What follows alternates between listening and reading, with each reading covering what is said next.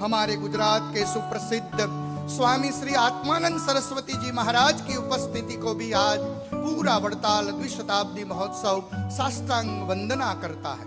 साथ ही साथ पूरे विश्व में भगवान शिव जी की कथा के माध्यम से शिव कथा के सुंदर प्रभावक प्रवक्ता आदरणीय श्री गिरु बापू जी को भी आज हम सादर प्रणाम और वंदना करते हैं। उज्जैन से पधारे हुए श्री श्याम गिरी राधे बाबा आदरणीय श्री रामेश्वर गिरी जी महाराज श्री भगवान दास जी महाराज श्री सुरेश्वरानंद जी महाराज श्री विशाल दास जी महाराज सभी संतों का स्वागत और पूजन के लिए वड़ताल मैनेजिंग ट्रस्टी बोर्ड के चेयरमैन परम श्रद्धेय પૂજ્યપાદ સદગુરુવર્ય કોઠારી સ્વામી શ્રી દેવ પ્રકાશ દાસજી સ્વ- મા ઉમિયાનું એક દિવ્ય અને અદ્ભુત મંદિર અમદાવાદ જાસપુરમાં નિર્માણ જે સમગ્ર ભારતનું નહીં સમગ્ર વિશ્વની સંસ્કૃતિનું અદ્ભુત અને દિવ્ય પ્રેસિડેન્ટ શ્રી આરપી પટેલ સાહેબ ઉપસ્થિત છે વિનંતી છે વહાલા ભક્તજનો ઈશ્વરે વડતાલનું યુવા મંડળ બ્રહ્મનાથથી ગુંજી ઉઠે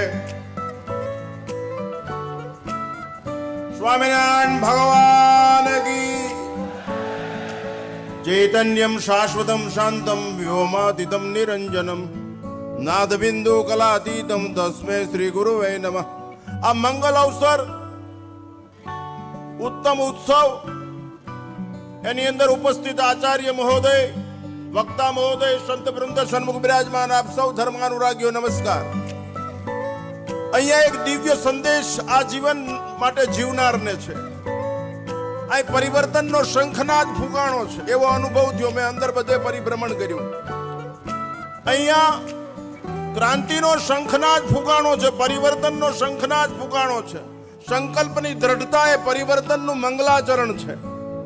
આ જીવિકા જીવના આજીવિકા માટે જ જીવનારા ફરીવાર કહું, કેવળ આજીવિકા માટે જ જીવનારને અહીંયા એવો સંદેશ માટે મળે છે, આ જીવન માટે જીવતા શીખો, અહીંયા બધું મળે છે. આ જીવિકા માટે નહીં જીવતા, આ જીવન માટે જીવો એવો દિવ્ય સંદેશ અહીં મળે છે.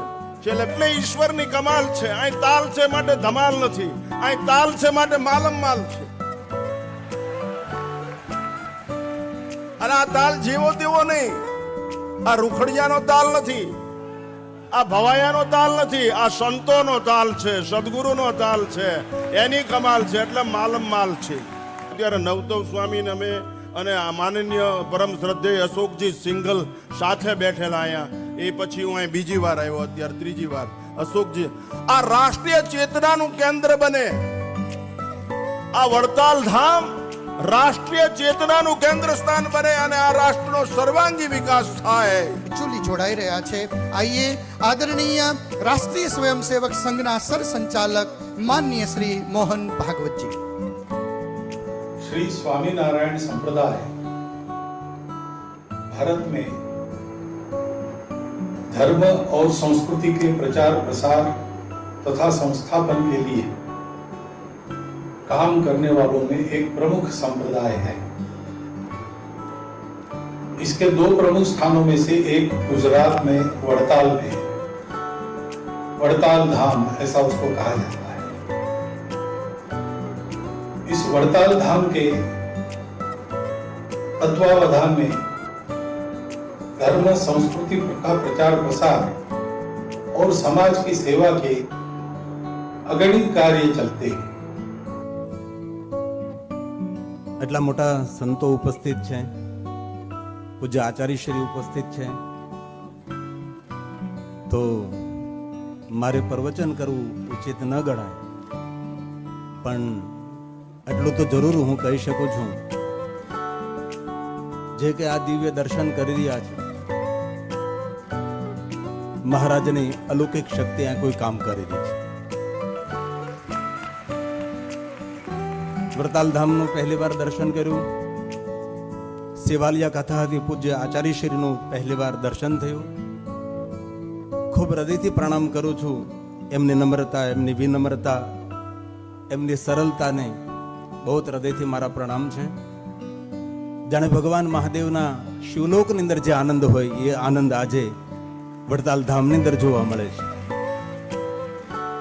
વિશેષ નહીં પ્રવચન કરતા આપ સૌ સંતોના હૃદયમાં બિરાજતા ભગવાન સ્વામિનારાયણને મારા પ્રણામ અમારા પરમ પૂજ્ય तापहारणे सचिदानंद रूपाय तस्मै श्री गुरुवे नमः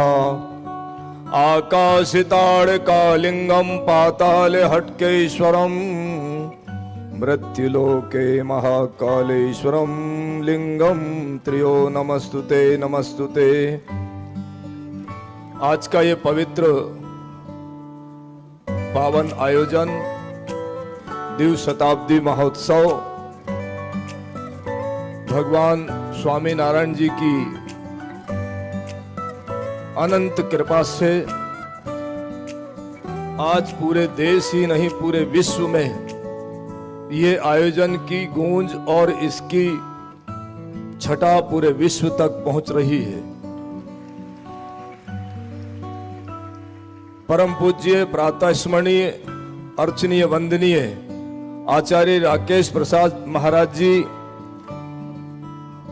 जिन्होंने अपने अथक प्रयास से समस्त संत परंपरा में, चाहे वो गिरी हो, पुरी हो, भारती हो, सन्यासी हो, नाथ जी हो, किसी भी संप्रदाय का संत हो, सबको स्वामी नारायण जी के इस पावन अवसर पर बुला करके उनका सबका वंदन, अर्चन, पूजन करके भारत में सामाजिक समरसता का एक अटूट संदेश देने का सफल प्रयास किया है।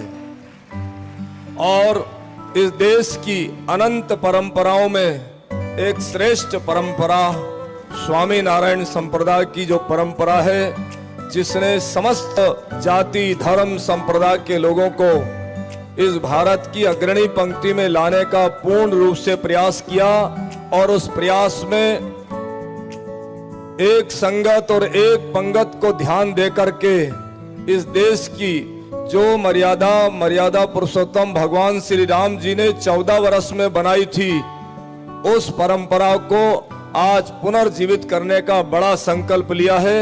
मैं उज्जैन के समस्त संत समाज और अखाड़ा परिषद के अध्यक्ष जी और उनके साथ में सभी संत महापुरुष आए, उनकी ओर से उनको कोटि कोटि प्रणाम करके उनके मंगलकारी जीवन की कामना करता हूँ।